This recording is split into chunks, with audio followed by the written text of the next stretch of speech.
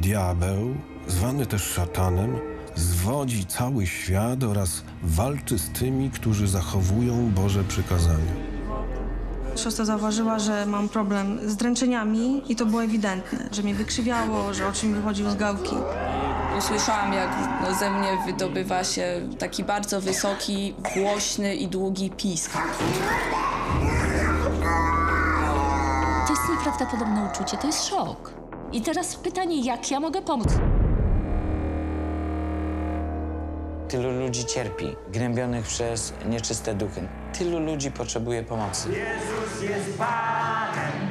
Maksymalnie dużo czasu zacząłem poświęcać na służbę duchową, służbę uwalniania.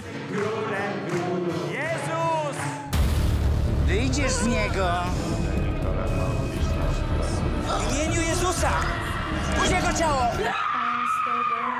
Błogosławionaś Ty, błogosławionaś Ty między niewiastami i błogosławiony Jezus, Twój Syn. Na 100% to, co tu jest na tym filmie pokazane, to jest manifestacja złego.